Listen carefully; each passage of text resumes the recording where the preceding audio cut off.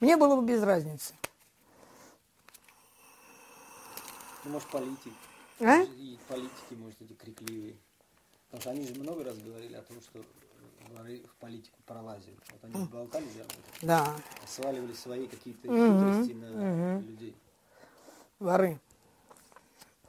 Нам эта политика по барабану, блядь, по глубокому. Я... Чё? Да, пакет просто чистый. Ну, по глубокому барабану нам. Эти политики, ихняя политика. Занимаются они, пусть нахуй занимаются. Нам какая разница-то? Ну, вот если в разговоре, может, с политикой. Да мне разницы нет, пускай. Ну кто вот дискутирует на тему, что вот воры плохие, воры плохие, а, бля, допустим, это, и он бы эту позицию пусть мне доказывает. Приводит примеры, аргументы, факты.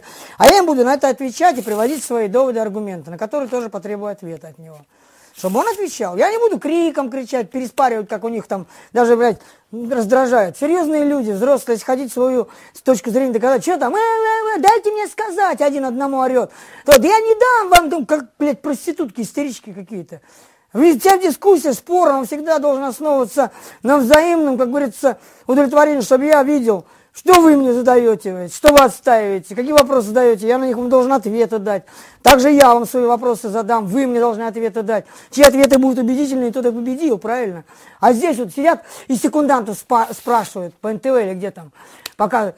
Ну что вы думаете? Я думаю, он был более, он был более, он был более. Чем он был более? И как он начинает какой-то бред нести. Нет позиции, нет вот этого, нет вот этого. Но бывает ориентируется правильно. Говорят, какие-то приводят качества, по которым действительно человек выиграл, совпадает. Но порой, я говорю, такое несет. Люди на всю страну показывают эту херню, вот такие вот вещи. Просто поразительные. Их или не готовят, или их прям просто вот поймали на улице, нахуй, иди сюда, садись и говори. Неужели не подготавливают, как они себя ведут? Просто даже безобразно. Да. Да как, как, ну при чем же, да все, Митрофанов, да кого угодно, кого угодно. Митрофанов, потом вот этот по природной этой херне министр-то вот это все, лысый, сносил все, незаконные постройки-то этот. Вот этот тип. Да, а? Митволь. Митволь, да, вот этот. Вот, ну что это, что это? Кричат, как клоунада. Когда спокойно ты такую должность занимаешь, ты веди себя соответственно, правильно? Назначенной должности, достоинство держи, покажи людям, что действительно личность. Что орать-то здесь? Да вы сами такие, да вы такие, вай, вай, стакан в рожу, бля. Что это, доказательство? Ты сядь, по-мужски достойно, сядь и свою позицию выскажи, обоснуй ее. Обоснуй ее, докажи, что это правильная позиция. А я тебе свою выскажу. И тоже так же, точно так же.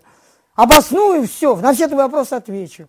А уже потом люди посмотрят, правильно, кто из нас лучше в жизни ориентируется и правильнее живет. Вот в чем вопрос. Правильнее живет. И достойней. Мгм. Пожалуйста.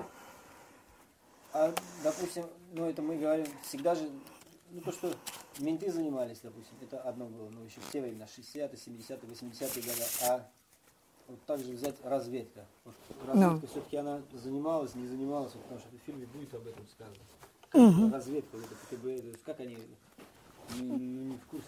Почему не в курсе? Они были в курсе. Они были в курсе, по-любому были в курсе. Нельзя считать наивной разведку.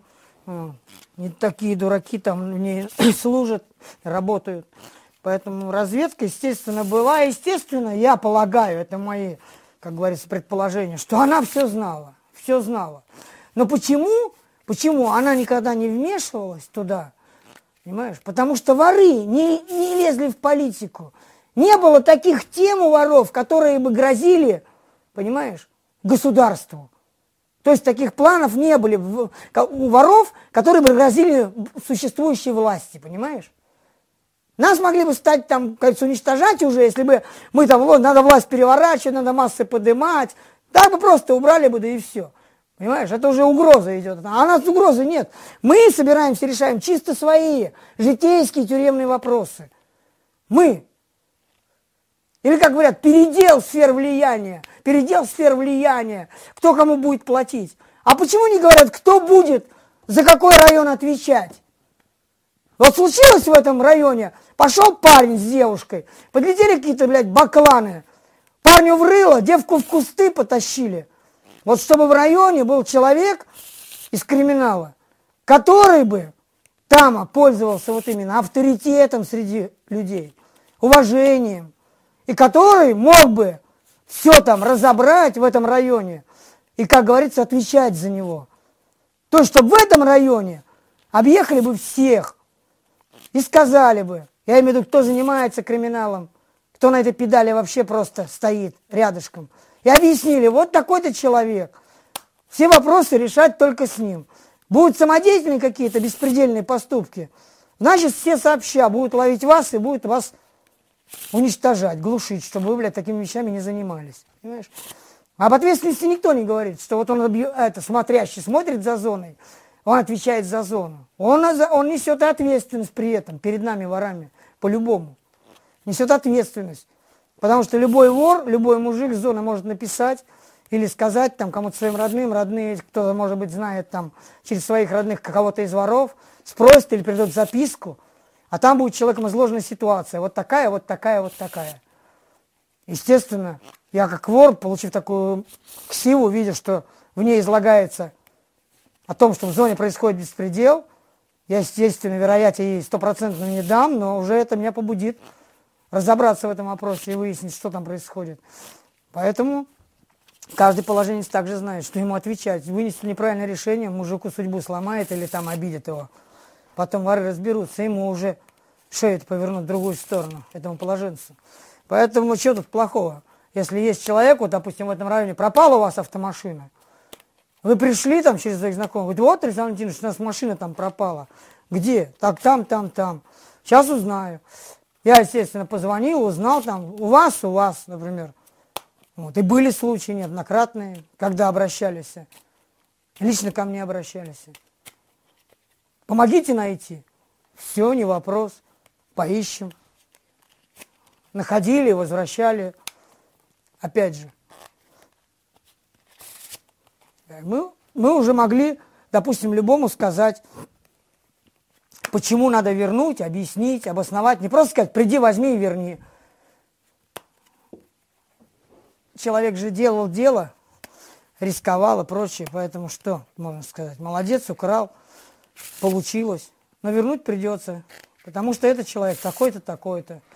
Например, простой коммерсант, но он уделяет внимание общему и прочему. То есть всегда и, там, допустим, необходимые предметы, и курево, чай, все там дает, как положено, на людей, которые находятся в неволе. Поэтому за него уже, естественно, мы, мы всегда будем разговаривать, если он обратится с какими-то блядь, просьбами, что там кто-то по беспределу на него наезжает. Все-таки кому же тогда не интересно, как вот слушаю, воры действительно, как полицейские судьи могут все расставить и так кому выгодно, почему отстреливали, почему убивали, кому выгодно, вот бриллианта, кто его убил? Вот, почему это? Ну, кому, кому ну, мешает? Мешал, конечно, естественно, администрации Соликамска мешал. Ее построили, этот белый лебедь Соликамский, для того, чтобы воров ломать. А туда Васю Брянта привезли. Еще легенда преступного мира, естественно, того начальника, который был в то время там, Уина. У него там вообще амбиции выпрыгнули через верх. Как так? Такого популярного человека привести, а ведь уничтожить какое самое главное качество в жизни?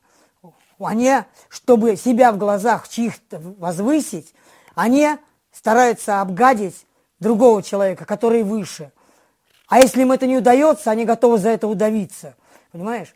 Когда он ничтожество стоит, а рядом с ним стоит величина, которую люди с восхищением смотрят – что в таких случаях ничтожность будет делать? Тем более, если она имеет власть. Вот это самое главное. Он при власти, он себя думает, ну я такой уиновский начальник, а? тут к Васе бренда привезли. За Васю люди, блядь, смотрели миллионы, блядь, как на икону. А на этого Барбоса никто не взглянул. Я им всегда привел пример, я говорю, вот случилось бы вам умереть в один день. Одному там начальнику я говорил, который за вас стал говорить. Я говорю, вот случилось вам умереть в один день. Разница между вас такая, что Вася бы на похороны десятки тысяч людей пришли похоронить, искренне пришли бы, не нажраться на поминках, а просто именно увидеть последний раз человека, попрощаться с ним.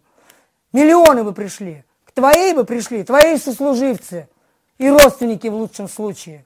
На 9 дней его поминали, Вася Бриллианта, также десятки тысяч людей поминали бы. Тебя вспоминали уже только родственники, даже служивцы бы уже не отмечали. только родственники. А 40 дней, половина родственников бы, бля, уже забыла, что такой был. Знаешь? И в итоге Васю еще десятилетия будут помнить люди, даже по разговорам.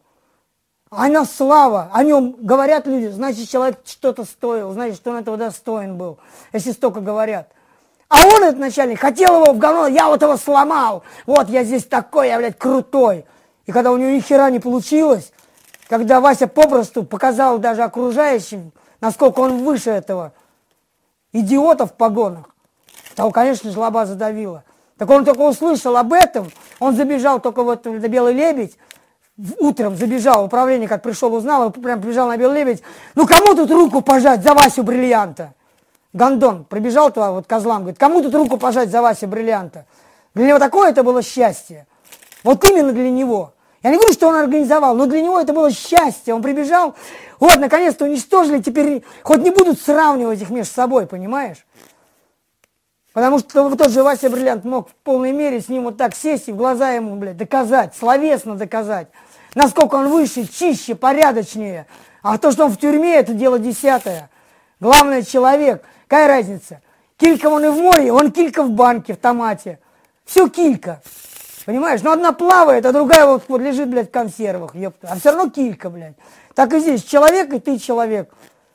Ну, один говно, блядь, а другой, блядь, алмаз, ёпта. Поэтому я тебе говорю, какое отношение? У, у нечисти, у любой, я тебе говорю, у любой нечисти, у любого непорядочного, если перед ним оказывается человек достойней, выше его, понимаешь, по-любому, он не сможет это равнодушно проглотить. Вот эта посредственность, понимаешь? Достойный мужик, были хозяева и мужики, такие достойные, о которых я до сего времени могу, бля, поименно, по имуществу даже сказать их. Хотя это было 30 с лишним лет назад, я поименно помню даже отрядников некоторых. Только потому, что они были людьми. Вот они понимали свое место службы, что их жизнь заставила здесь вот работать. Много им было неприемлемо в разговоре со мной. Они прямо говорили, вот это бред, вот это несправедливо, неправильно.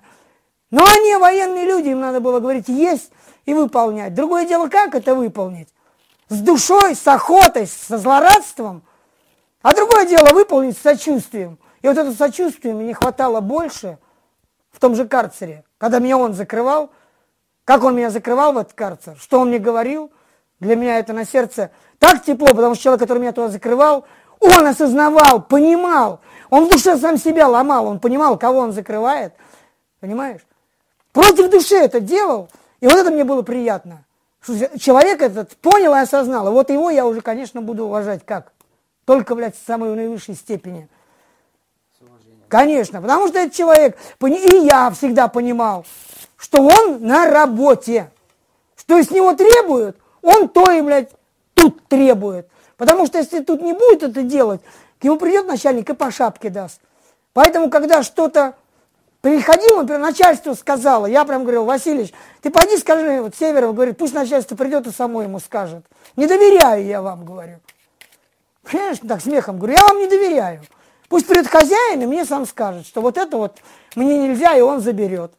Я скажу, пусть попробует сам забрать. Даже когда менты дверь открывали, и начальник управления кричал, заберите это, заберите это, ОМОНовцам. Я им говорю, братцы, я говорю, подождите, не торопитесь. Чего же он вас-то посылает сюда? Он меня хорошо знает, говорю. А чего же он вас-то сюда посылает? Заберите. Пусть он сам, мужик же, духу много, зайди вы, забери. Вот сможешь при них, говорю, зайти и забрать. Да духу не хватит, я порву, говорю, блядь, как грелку. Понимаешь? Духу просто у тебя не хватит. И вот там вот стояли, смотрели, блядь, и дурели, блядь. Я говорю, видишь, ну, он не прав, заберите это. У меня рамка Галина, фотография стояла. Не положено. Я пусть зайдет и кто-то заберет. Пусть придет и заберет.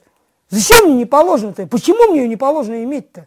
Кто это прописал, что мне это нельзя иметь? Для меня это самый родной человек и дорогой. Почему мне ее нельзя иметь-то? Понимаешь? Так вот, если я с этим не, не могу смириться, я, блядь, никогда с этим не смирюсь. Я просто в жизни никогда, это сам себя, я, говорится, буду иметь, если я сделаю это. Потому что это мне душой, душой, понимаешь, не принимается вот такое действие, не принимается оно мной. Я своим нутром его не принимаю. Еще в этом фильме будет рассказываться о певцах, то есть жаргон, сленг будет рас, расписываться. И будут еще такие ну, вставки, рассказы о Мише Круге будем рассказывать, о Высоцком. Вот, может быть, на эту тему что-то. Про Мишу. Ну, ну, что, Миш, Миш, Миш-то можно что сказать. Ну, в принципе, я уже многим говорил. Уже так-то больше, в принципе, нам особо добавить-то нечего. Вот. Что, слух, что, слух идет, что Владимирский Централ это все-таки твоя песня. Не, не, песня-то его, это не моя, зачем? Наоборот, эту песню он лично написал просто для меня. Впервые он исполнил в 98 году ее в мотеле Тверь в январе месяце, 13 числа.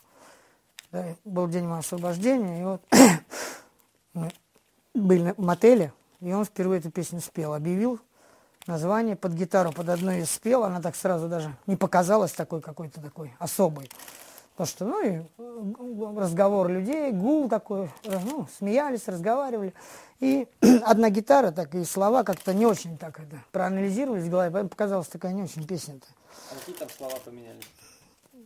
А нет, там было первое у него было написано, когда он сам написал, первый раз мне показывал это, свой черновик, то там у него было написано Владимирский Централ, Саня Северов, этапом из Твери, зла немерено. Там было так. А потом, я когда показал, я говорю, зачем мне надо эту херню писать, Миша, ну зачем это глупости? Я говорю, замени каким-нибудь другим словом. Вот он заменил ветер северный, то есть Владимирский Централ, ветер северный, а было Саня Северов. А так, я говорю, я всю жизнь, я всю жизнь я писал стихи о своих мироощущениях, о том, что я вижу. Я даже писал стихи, вот, что, короче, когда некоторые люди их прочитали у меня, они просто в шоке были. У меня потом пришел один, а он начальник по режиму был, вот, там в каком учреждении, не буду говорить, вот, а сам он бывший военный, командовал там полком, ну такой чистый вояка такой. Но вот я аналогию еще могу провести, такую отвлекусь от темы, знаешь, какую? Что вот кто близко, близко-близко, самая близкая каста, которая к ворам близка, почти что то же самое, это офицеры именно российские офицеры, русские. То есть вот кодекс чести офицера – это практически то же самое, что кодекс чести вора. Единственное, что только офицеру надо отдавать честь и выполнять спущенное свыше. У воров этого нет. Спущенное свыше никто мне приказать не может что-либо выполнять. Кроме сходки, опять же. То есть всех. А так вот офицеры это то же самое, да, то же самое. Честь, которые стреляли за то, что долг не отдали офицеры, которым предлагали идти на другую сторону, благо всякие обещали, а они шли на смерть, на пули, белогвардейские офицеры. Но офицеры, вот это каста близкая, да, к ворам. Потому что самое главное, я говорю, это не иметь самого себя а твердо знать, что ты делаешь, для чего ты это делаешь, ради чего делаешь. Вот. А уже как это делаешь, это уже будет как твои трудности. Плохо сделаешь, можешь поплатиться серьезно. Ну, а так, в целом, такая вот ситуация. Может, еще какое-нибудь стихотворение? Или вот а, вот какое стихотворение сейчас, не знаю, какое это сейчас, посмотрим, какое-нибудь есть, наверное. А сколько вообще у тебя стихов? Да, очень много. Около тысячи, наверное, если не больше. Вот. Вот такой монолог. Размышления о жизни.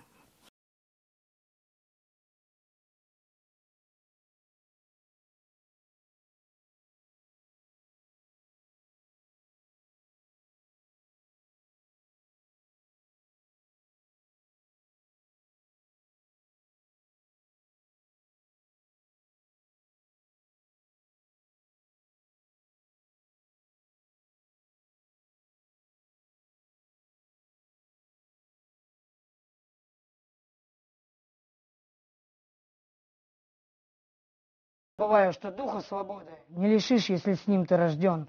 Пусть не вижу я белого света, в казематах тюремных томясь, все равно я плюю на запреты, на любую насильную власть. Признаю я одно, власть природы, что с рождения ею дано, не сломают ни страх, ни невзгоды, ни тюремное в клетку окно. Все лишения, заборы в три метра и решетки в тюремном окне не лишат меня вольного ветра, что подарен природой мне. Ведь недаром писал Пешков Горький в песне Сокола «Мысли змеи», что не нужен характер есть стойкий, чтобы есть просто падаль с земли. Для таких уже ползать за счастье, не дано им природой летать, не узнать им ни выси, ни страсти, им ползущим, меня не понять. Лучше год я поем свежей пищи, чем годами есть падаль давясь, за подачками тянется нищий, со своей судьбой мирясь. Я ж не нищий, не жалкий калека, не домашний прирученный скот. Я родился на свет человеком, и во мне дух свободы живет. Не смирюсь я с всеобщим загоном и не встану безропотно в хлев. Я по жизни стою над законом, словно дикий оскаленный лев. Я рожден от природы свободным, и меня никому не сломать. Лучше буду я чаще голодным, чем подачки из рук стану брать. Пусть предложат мне клеть позолота, я не стану сидеть в заперти. Я рожден для свободной охоты, а не как скотный сброд для клети. Пусть мне выпало тяжкое бремя, пусть покой только видится мне, но и в это нелегкое время я свободен и в этой стране. Но это еще написано, когда коммунисты были. То есть это еще да, до, перес, до перестройки, 80-е годы. Такие.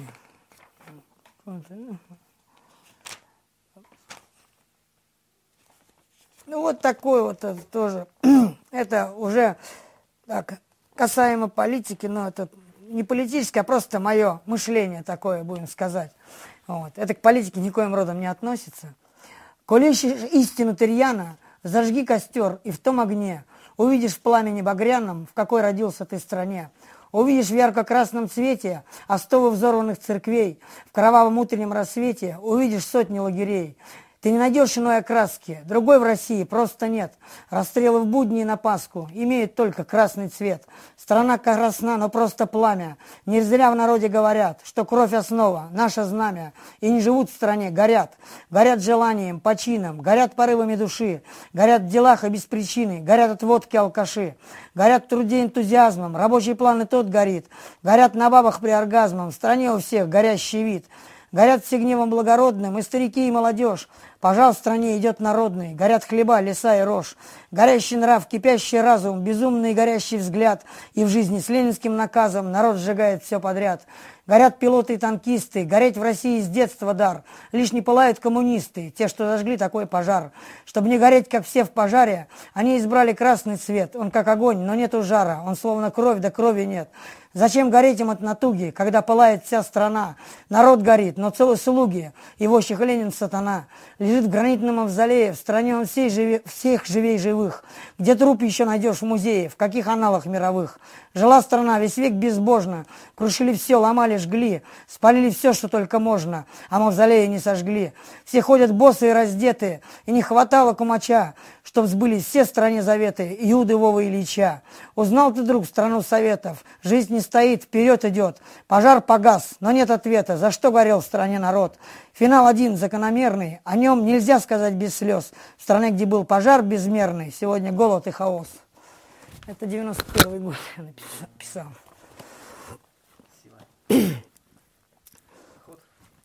Давай. Так. Отыграем.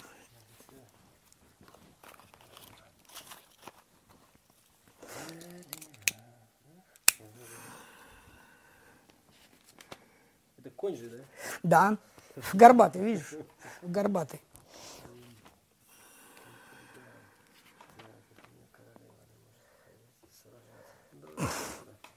Угу.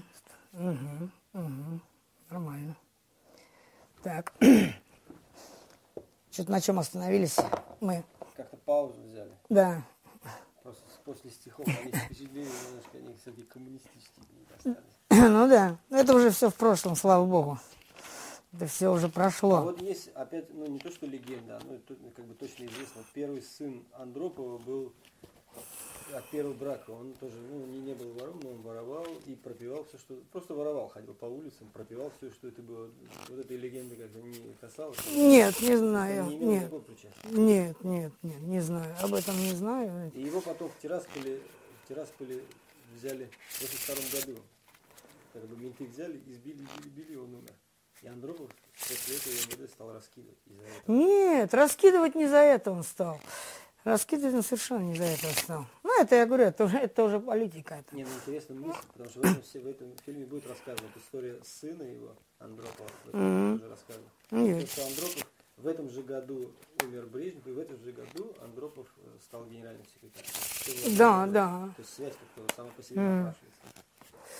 Он, да, он, у них своя была война со Щелоковым, очень серьезная в свое время, а уже вот это, ну, убийство на Ждановской, когда показывали, вот это уже был серьезный факт, это было действительно в натуре так, я это помню даже везде это. КГБ стало глушить за это милицию вот так вообще, конкретно. Да, за то, что убили комитетчика. И тогда началось расследование, пошло и пошло, и стали. Тут Щелоков уже попал сам по себе. И все, и Андропов сразу все переш, переш, перешерстил. То есть они были как бы враги с МВД, они, и Щелоков именно непосредственно с самим, с этим, с, как его, с Андроповым. Щелоков с ним непосредственно. А ставки были в этой игре воровского мира? Потому что тогда грузины стали такие, они... Да нет, ну я же говорю, политика вообще далекая. Далекая вообще, блядь, отрасль для, для воров. Мы вообще никогда этим не занимались, я же говорю, вот. Нам наплевать, какой строй. Нам строй любой хороший, где люди хорошо будут жить. Для нас строй только такой хороший, где люди будут хорошо жить, все. Вот. Я же говорю, а так что какая разница, там Андропов будет, не Андропов будет. Это разницы нет никакой. При любом случае, я же вот изначально, почему не зря это говорил, что воры это самые честные люди, почему говорят, что вот мы воры в законе. Потому что воры почему хорошо? Они как чертова страшилка, понимаешь? Когда власть сама говном занимается, понимаешь? Вот хорошо такие темы на телевизорах заводить, за воров, понимаешь? Вот воры, там, организованная преступность, туда-сюда. Зато с себя стрелки переводят вот на воров. И вот всяко склоняют. Вы думаете все, что можно. Я не знаю, что только не придумали уже за воров. Уже что только не придумали, я не знаю. А. Чуть не президенты вор лес один. И книги еще на эту тему пишут. Олухи бездарные, блядь. Просто вообще такой прочитал книгу, просто одурел. Такой бред написан. И, блядь, человек пишет, я говорю, у меня такое желание просто в лицо было плюнуть, блядь, вот этой писательнице, дамочка там одна, пишет, вор, варяг какой-то, союзный вор-варяг, раз, все деньги общака собрал, запустил их в бизнес, там деньги провернул, раз, выдвинулся на губернатора, тут чуть ли не уже не в президенты полез, э, ворам объясняй, там это, так, блядь, такой бред, ну просто ужас, вообще дуреть надо. Да кому, зачем, вот просто зачем вору это, зачем? Когда у него мышление совершенно другое. Зачем ему это? Влезть туда власть. Если вор влезет во власть на место президента, такое просто представить невозможно, но если вообще вдруг такое бы случилось, да, и попал бы истинный вор именно во власть на место президента, я заранее могу сказать, какой бы был финал. Понял? Все порядочные люди, достойные, были бы на свободе, а все негодяи, блядь, и пидорасты, хуесосы все, предатели все, они бы сидели в тюрьме. Вот было бы так. Не на черных-белых, не по расовым принадлежности, понимаешь? А вот конкретно по жизни. Если ты, блядь, буду негодяй, способный близкого, вот у близкого, у родных украсть, крыса натуральная, тащишь, предать ближнего друга, передать во всем, ради какой-то выгоды. Вот ты мразь. Вот такие будут сидеть в тюрьме у воров, если воры будут в правительстве или там президентом. А нормальные люди, порядочные, слесарь ли это, кто угодно, неважно. Такие люди все были бы на свободе и жили довольно достойно и достатки все. Все бы жили. Вот за счет этой нечисти бы, блядь. Вот она бы должна была работать, значит, в лагерях. Бесплатно вообще, на, на одну кормежку на свою. Остальные деньги все вычитать и отдавать вот людям, блядь, порядочным. На свободе которые имеют 10 детей, там, тракторист, Паша Страдоныч. Вот, вот такая бы власть случилась, если бы воры попали к власти. Потому что для воров, я говорю, показатель один. Это сама твоя порядочность, твоя честь, твое достоинство. Если ты это все имеешь, то ты человек, с тобой будут и общаться, и уважать тебя будут, и всячески. Вот. И, естественно, немаловажную роль играет ум, конечно. Очень, очень большую роль. Потому что в свое время, когда мне было 18 лет, я попал на лесоповал, где было еще 75 человек, четверташников сидело. В Архангельской области я в Ерцево пришел, вот, поселок Совзно. Там было еще 25 четверташников. То есть 40 были еще у некоторых, 28, 33 добивали. Вот я пришел, таких было там 75 человек. И вот я помню, как я в зону пришел, как я все впитывал, слушал, как интересовался всем. Вот. И потом видел, буквально через 3-4 года, которые приходили люди, что уже их интересовало. То есть они попали в такую ситуацию, с такими здоровыми сроками, всю жизнь жить здесь им придется практически. Так вникни в это, что здесь такое. Разберись, чтобы жить-то нормально, правильно там. Не наступать в говно постоянно. Разберись, твоя жизнь вот на 15 лет, это твой дом будет. Почему и говорят? Разберись. А он еще не разобрался ни хера. Он полез. Он полез уже. Вот рога бах обломал, бах обломал. Поэтому я говорю, я 18 лет мне было, я видел, как я губка впитывал. Все, вот такое важное, нужное для жизни, которое я понимал, мне пригодится. И как сейчас приходит, что их сейчас интересует, блядь. Сколько каши дают, блядь. Ага. Да не дают ли добавки? Все, вот их интерес в тюрьме. Потому что я говорю, они сами, они сами еще в себе не разобрались. То есть люди пришли в определенное место, но еще сами не разобрались, что они хотят. Понимаешь, в этом месте, что они именно хотят. Вот. Как они жить хотят. А через сколько лет человек попадает, попад, ну, попав в тюрьму, начинает понимать, что происходит вокруг него? Ну вот я, я еще раз говорю, я это очень тяжело обобщить, потому что для каждого человека это разный срок, в зависимости от его ума. Вот я говорю, я 18 лет понимал то, что сегодняшним днем, грубо скажу, 40-летние не понимают. В лагере находятся 40-летние не понимают. Что я в 18 уже знал. На зубок. Вот за это почему я говорю, что не может быть какого-то определенного критерия, срока для каждого. Для тебя это надо 2 года, для него 22, а тот вообще никогда не поймет. И когда мне кто-то там, как, какой-то там ссора с кем-то случалась, и мне какой-нибудь там пожилой сиделец, лет 25 уже, отсидевший, досиживающий, вернее, мне говорил, о, ты пиздюк, ты мне еще рассказываешь, да я уже там 40 лет отсидел, мне 70 лет. Я говорю, ты можешь сидеть 90 лет, и уже тебе может быть 120 лет, но ты можешь быть бревном, блядь, тупым. Понял? А может быть человеком. То, что отсидел, мне не показатель. Вопрос, как ты отсидел кем ты отсидел. Вот это вопрос. А сколько ты отсидел, для меня это, блядь, фу, ебаный. Любой может отсидеть. У нас такая страна, любой может отсидеть. А вот как себя правильно поставить? А ведь почему? Большинство, вот здесь же психология человеческая закладывается. Просто я говорю, кто анализирует, он ее не видит. А вот когда большая масса людей скоплена в каком-то одном месте, понимаешь, то люди-то разные. И вот, например, одни, будем говорить так, пришли сразу, одели повязку, вступили во все секции, то есть стали на правильный путь. Но у этих людей правильный путь Понимаешь, эта цель быстрее выскочить на свободу. То есть они одевают повязку, вступают в секцию. Они, за них администрация говорит, это вставшие на путь исправления люди. Вот, за него чуть ли, если ему там с ним конфликт, ему в рожь дашь, чуть ли не как при исполнении служебных обязанностей судят. Да, понял. А он вот так, обманным путем, здесь на того донес, там на того, до УДО дошел, раз и ушел на, на УДО. Сидю, сижу в зоне, я срок. Два месяца проходит, раз, Вася приходит. Вот этот Вася, который на УДО ушел. Администрация, о, Вася пришел, радуется. Администрация должна по логике вещей, ах ты негодяй, ты нас обманул, ты нас подвел, ты встал на путь исправления, мы тебя, блядь, представили, а ты, сука, там через месяц опять совершил и идешь сюда. Вот вам надо, где его закручивать. Должна по логике, правильно? Для здравого смысла-то что другое может быть? Ты нас обманул, вышел на волю. Мы, там же судья говорил, наверное, кто его выпустил по УДО, блядь, этого преступника. Вы должны за это его вот так зажать. А вы, о, Васька приехал, он опять повязку, опять в это СВП, опять полсрока и на УДО. Такой у меня был в жизни случай. Три раза один и тот же человек пришел, пока я семеру сидел на зоне, вот здесь. И я говорил, вот вы администрация, вот вам какие люди нужны. Вот для вас они старше на путь исправления, вот эти вот приспособленцы, которые вам врут в глаза, сами как бы вас объебать. Думают только об этом, как вас вот в погонах объебать. Понимая прекрасно, что они, они для вас тоже как гондоны. И вот они свою вылавливают, вас объебывают, обманывают.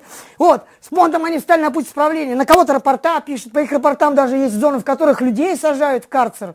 А может он счеты сводит, Барбос. Потому что у него нет качеств человеческих, а ему обидно. Как так? Такой человек независимый, вот так себя поставил в зоне. Вот, потому что в нем есть и качества. А у него этого нет говна. Он начинает человека этого, если есть возможность у него власть, он начинает его писать там всякую ерунду на него, прочее, прочее. Вот вам такие нужны, лизоблюды, обманщики. И вы радуетесь таким. У Колька пришел опять. Вот, вот вы администрация. Что вам, вот такое нужно? Вот такие вот нужны, чтобы вы здесь отсюда выходили вот такие? Приспособленцы, которые в глаза бы заглядывали. Или, блядь, на ближнего друга мог донести. Вам вот такие нужны? Это вставшие на путь исправления люди. Это твари, блядь. Твари конченые, уже не люди, блядь. А четвероногие животные, которые, блядь, также попали в тюрьму как и другие попали в тюрьму, в беду какую-то попали. Не чтобы помогать друг другу, а он на нем, я буду, свое благополучие строит. И даже так говорит, не дашь 100 рублей, я скажу, что ты вот это, вот это. И мне поверят. Такие тоже были. И резали их прям тут же, если нарывались. А что порождает-то? И выходить, чтобы такие люди на свободу выходили. Так дальше-то они будут в обществе общаться, жить. Они уже так жившие там, они в себе это уже впитавшие и далее понесут такую, понимаешь, манеру поведения, приспособленности, вот такую же, как они сами. Предавай ближнего, если деньги выгодно, насрать на кого-то там, если деньги выгодно. Вот принципы этих, понимаешь? А их называют ставшие на путь исправления. И сейчас, главное, говорят, вот амнистия будет, лица, которые являются злостными нарушителями, не будут подпадать под, под, под амнистию. Понимаешь? А злостные нарушители, раз они там нарушают закон, преподносится обывателю же так, нарушители там, а там кто нарушители? Вот воры там всегда нарушители самые. Потому что если вор в зоне находится, положено 5 грамм сахара каждому арестанту, пусть дадут два, попробуют. Только, блядь, об этом кто-то из мужиков скажет, я приду прям к начальнику и скажу, говорю, начальник, вот, положено по 5 грамм, вы мужикам дали по 3 грамма. Люди возмущены. Смотрите, получится заморочка, я вас предупреждаю, потому что когда случится эта заморочка, приедет с управления, с Москвы люди разбираться, я им сам подойду и скажу, я вас предупреждал, что такое сейчас случится. И вы это поспособствовали допустить. Понимаешь, как сразу вопрос ставлю? И хозяин понимает, что да, понимаешь? Сейчас он, я сделаю это, люди не, не кипиш какой-то подымут, приедет комиссия, он слетит с места. Поэтому я говорю, распорядитесь доложить. Александр Ильич, извините, не довезли сахар, завтра отдадут эти 100 грамм. Я говорю, это ваше слово офицера? Да, хорошо, другое дело. Понимаешь, форс-мажорные обстоятельства всегда везде бывают. Хорошо, я людям объясню, я выхожу, говорю, братцы, все нормально, там не увязки действительно, от, а не зависящие от администрации. И все, и мужики пошли, и все. Что, плохо это в зоне? Нет. Но администрации я там не нужен. Потому что она не сможет свои делишки проворачивать тогда, неблаговидные. С котла сумки таскать, блядь, домой, блядь, чист таскает, банки тушенки, блядь, да масло подсолнечное, бутылки пиздят, нахуй, тащат с котла. Мясо. Вот у меня нигде не пиздили, где я был в зонах, нигде не пиздили, ни один мусор. Потому что я сразу приходил к хозяину и говорил, гражданин начальник, я не знаю, если нет у вас такие факты в лагере,